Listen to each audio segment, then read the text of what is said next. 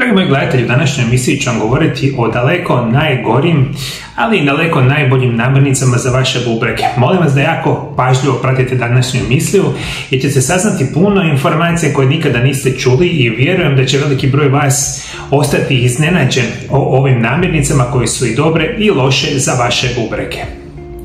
Ako patite od bubrečnih bolesti, imate povišen kreatinin, smanjenu glomeralnu filtraciju učestale infekcije mokračnih puteva, kamenac ili zadržavanje tekućine, vaša prehrana mora biti pažljivo prilagođena. Većina ljudi nije svjesna da upravo hrana koju svakodnevno konzumiraju mogu ubrzati propadanje bubrega. Bubrezi su izuzetno osjetljiv organ i kad se jednom ozbiljno oštete, oporavak je težak. Zbog toga je važno znati što jesti, a još važnije što izbjegavati. I započinjemo sa najgorom hranom za bolesne bubrege. Ove namirnice koje trebate ograničiti ili potpuno trebate izbaciti jer značajno pogoršavaju rad bubrega, potiču upalu, opterećuju detoksikacijski sustav i predonose stvaranju mokračne kiseline, fosfata, oksalata i drugih štetnih tvari.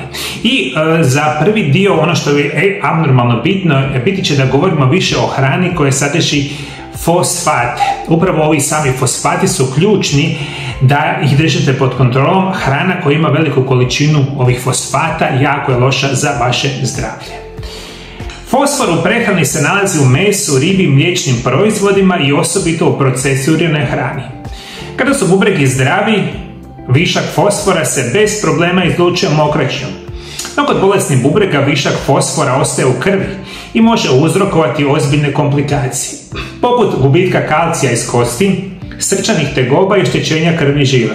Posebno su opasni skriveni fosfati u aditivima. Sve što sadrži oznake E-komponenti, poput E338 fosforna kiselina, ili E339 natrijev fosfat, ili E340 kalijev fosfat treba izbjegavati. Takvi aditivi nalaze se u gajzernim pićima, mesnim prerađevinama, pekarskim proizvodima, konzerviranom hrani i instant proizvodima. Jeste mi zapamtili, moji dragi gledatelji, to je generalno ona super loša hrana koju u najvećem broju slučajeva mi danas jedemo i nalazi se u našim dućanima. Hrana bogata fosfatima moramo izbjegavati. Druga jako bitna informacija će biti hrana koja u sebi ima jako veliku količinu kalija. Posebno bitno je razmišljati o kaliju jer kod bolesnih bubrega također hrana koja ima previše kalija može biti vrlo opasna. Kalij je važan mineral, ali ako bubrezi ne mogu izlučiti njegov višak, on se zadržava u krvi i dovodi do ozbiljnih srčanih aritmija, slabosti mišića pa čak i zastoja srca. Među hranu sa vrlo visokim udjelom kalija spadaju rajčice i proizvodi od rajčice, krumpir, osobito pečeni i prženi, avokado, banane, ali u većim količinama, naranđe i sok od naranđe, suho voće poput marelice, smokava i grožica, čokolada i kakao, te orašasti plodovi, osobito badeni i kikiriki. Prevedeno nažalost, moji dragi gledatelji, znači u velikom broju slučajeva normalna naša prehrana je osiromašena ovim hranom bogatom kalijem.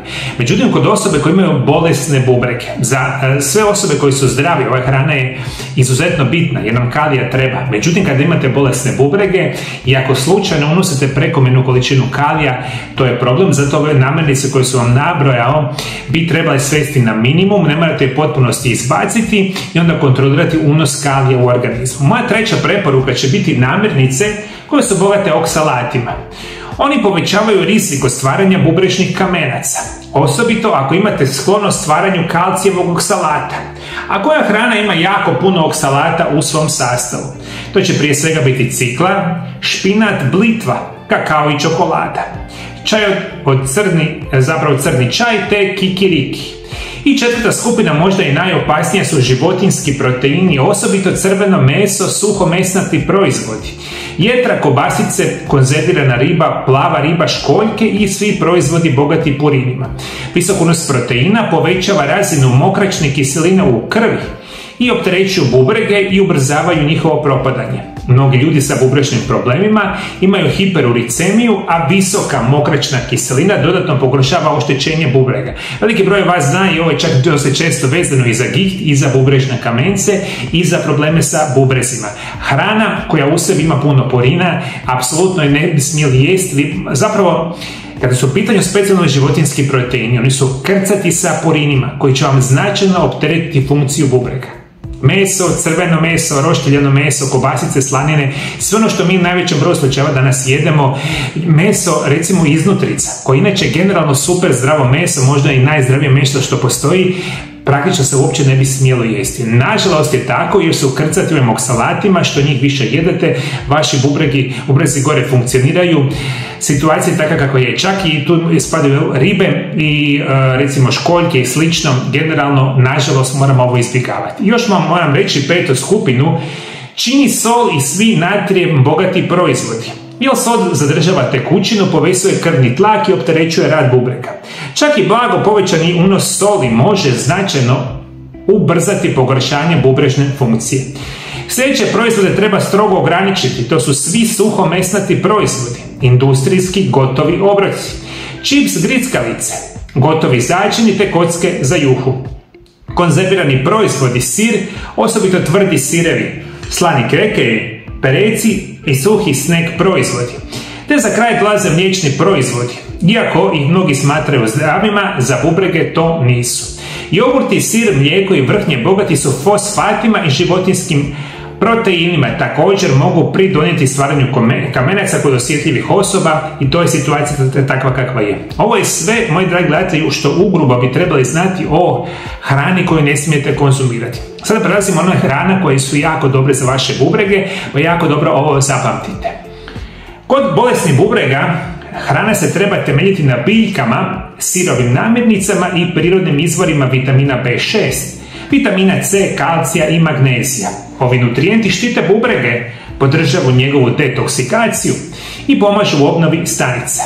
Vitamin B6 je ključan za smanjenje razine oksalata u urinu, a nalazi se u cjelovitim žitaricama, leći i grašku, bananama recimo i sjemenkama.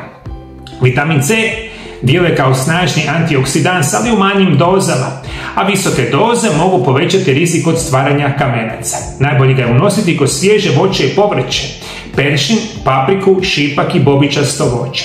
Te kalci magnezi štite od kamenaca, ali se moraju unositi iz hrane, ali ne iz dodataka prehrani, a dobri izvori uključuju listnato povrće, sjemenke sezama, bademe u manjim količinama, zelenu salatu i banane u malim količinama. Preporučujemo da se vaša prehrana temelji na 75% sirovoj hrani, jer sirova hrana ne opterećuje probavu, obiluje enzimima i ne stvara višak mokračne kiseline. Jeste mi shvatili, moji dragi gledatelji, preporuka je u većini slučajeva da jedete sirovu hranu. Kod bolesnih bubrega 75% sirova hrana sigurno će poboljšati funkcioniranje bubrega, to i kako želite.